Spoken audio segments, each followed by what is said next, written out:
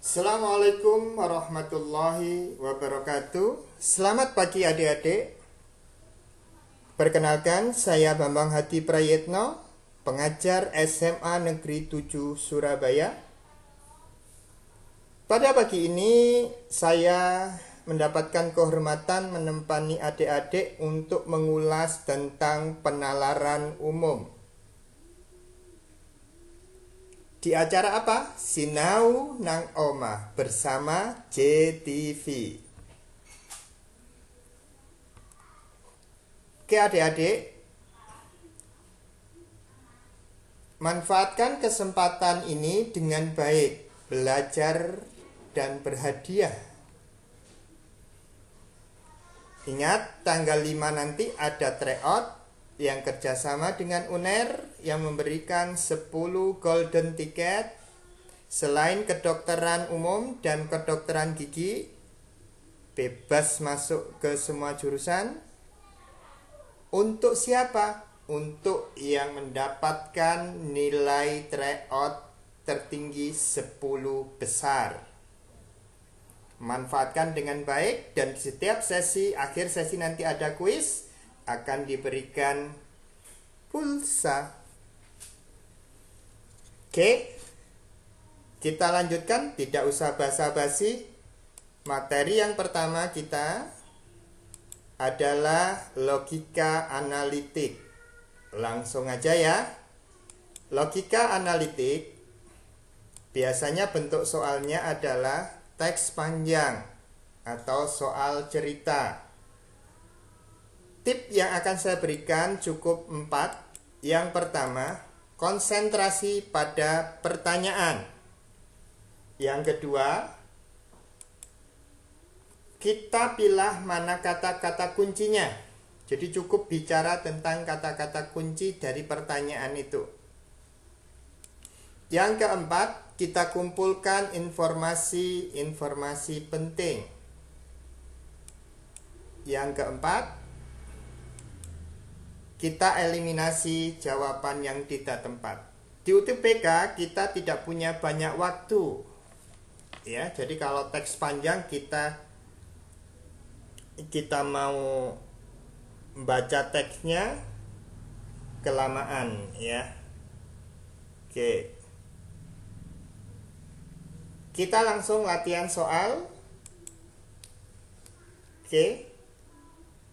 Saya beri waktu satu menit. Yuk, waktunya berjalan. Mampukah adik-adik mendapatkan jawabannya dalam waktu satu menit?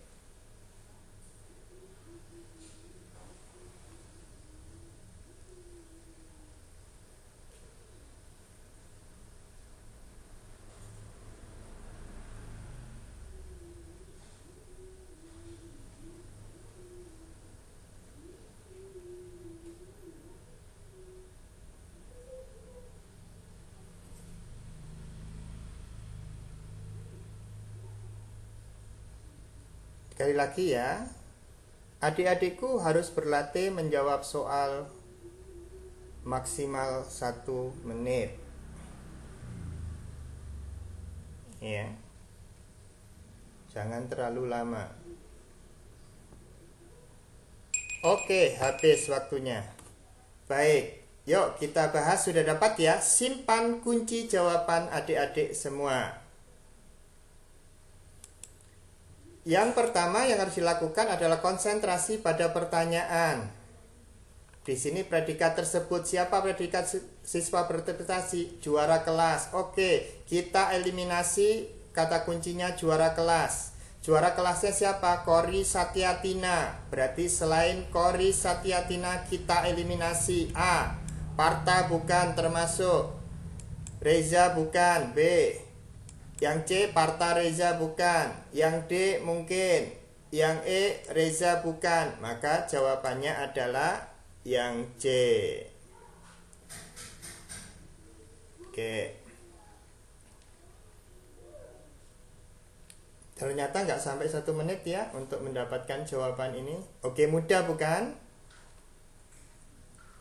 Kita lanjutkan soal yang kedua. Waktunya sama, satu menit.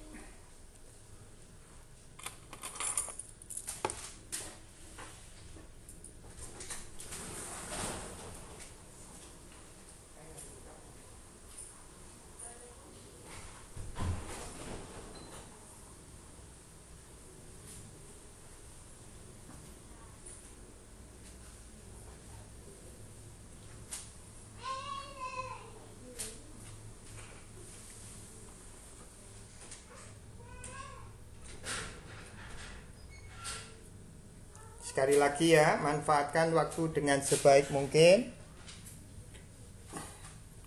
Usahakan menjawab soal kurang dari satu menit.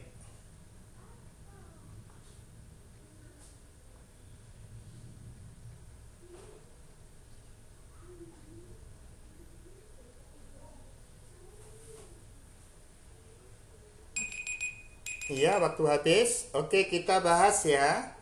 Soal kedua, kata kuncinya adalah bunga paling rendah.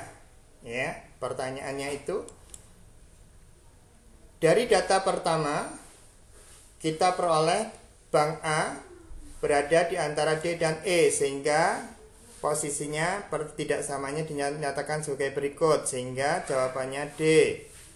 Informasi kedua tidak penting karena yang ditanya terendah ini yang tertinggi tapi tidak apa-apa kita in, catat informasinya tetap D.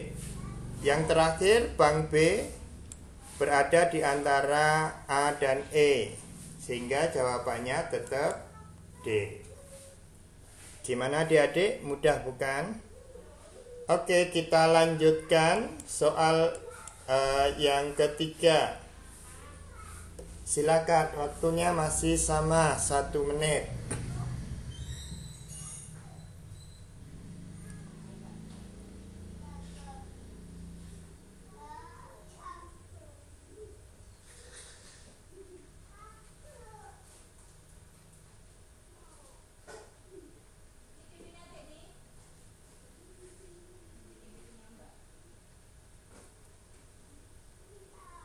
Gimana? Apakah adik-adik sudah mengunci jawabannya?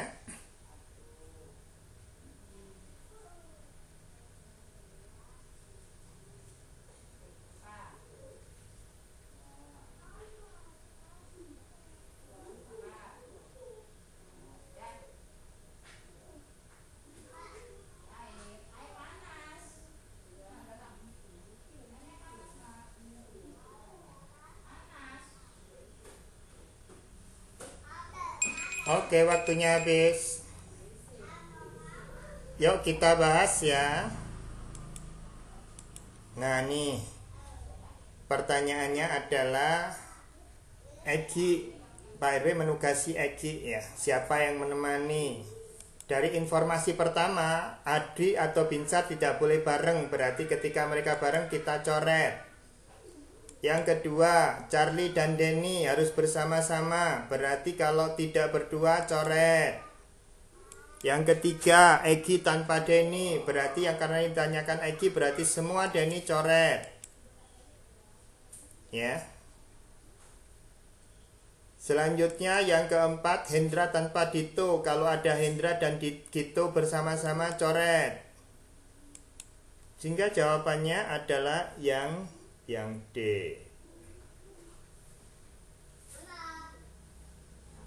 Yuk kita lanjutkan soal yang keempat. Silakan. Waktunya masih sama, satu menit untuk mendapatkan jawabannya.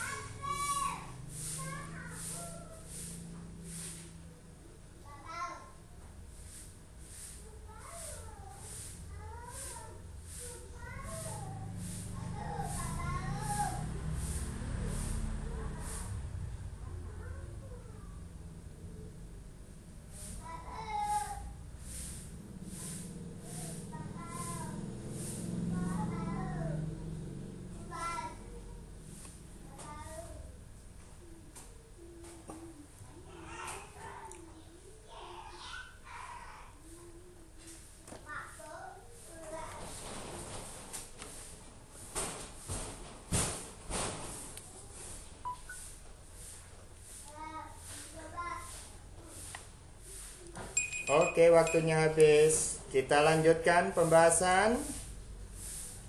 Ya. Kamar nomor berapakah yang kosong? Oke. Kamarnya ada 1 2 3 4 5 6 7 8 seperti pada gambar. Jadi ada kalanya kita perlu menggambar ya. Selanjutnya informasi pertama Ardi Ruli pada kamar 1 2 3. Selanjutnya informasi Ruli di depan Bima. Berarti depan kamarnya Ruli adalah Bima. Informasi berikutnya masih membingungkan. Oke Kita cari yang tidak membingungkan. Depan kamar Ardi adalah Dedi Berarti Isa Dedi. Oke. Bima di antara Abdi dan kamar kosong. Di depan kamar Abdi kosong. Berarti kamar 8 adalah miliknya Abdi sehingga jawabannya adalah kamar 4 dan 6. Pas satu menit. Kita lanjutkan ya, kita lanjutkan soal yang ke Silakan cermati pola gambar. Kira-kira gambar selanjutnya apa ya?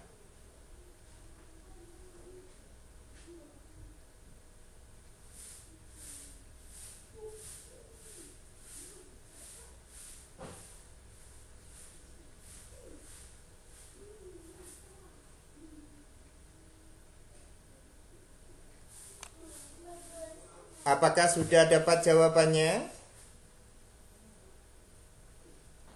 Kalau main-mainan puzzle seperti ini, saya yakin adik-adikku amat sangat sudah terbiasa dengan puzzle ini ya. Sehingga dapat dengan mudah menjawabnya.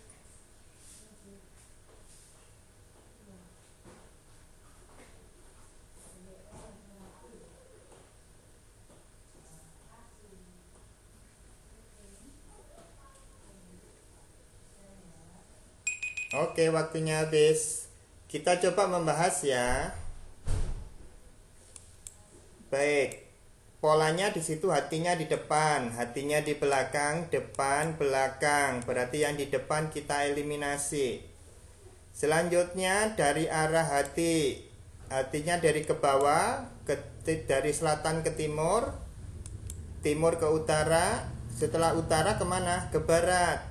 Nah, berarti yang jawaban yang paling mungkin adalah D. Oke. Kita lanjutkan pada soal berikutnya. Kalau yang ini pasti sangat mudah ya. Karena kita hanya diminta untuk menentukan gambar yang berbeda di antara kumpulan gambar yang ada. Oke, nggak perlu lama, setengah menit sudah cukup. Yuk kita cek jawabannya. Jawabannya adalah yang D. Kenapa kok yang D? Karena yang D adalah segi 5, yang lain segi 4. Kita masuk ke segmen 4. Latihan soal penararan gambar. Baik. Nah, ini perhatikan di sini pada dua kolom pertama itu mesti ada arsir tidak arsir. Nah sekarang yang pada baris ketiga dia tidak arsir. Berarti yang tidak arsir tidak masuk komponen. Oke. Selanjutnya tinggal digabungkan.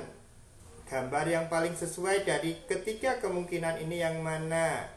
Yang paling mendekati cocok adalah yang B sehingga jawabannya adalah yang B.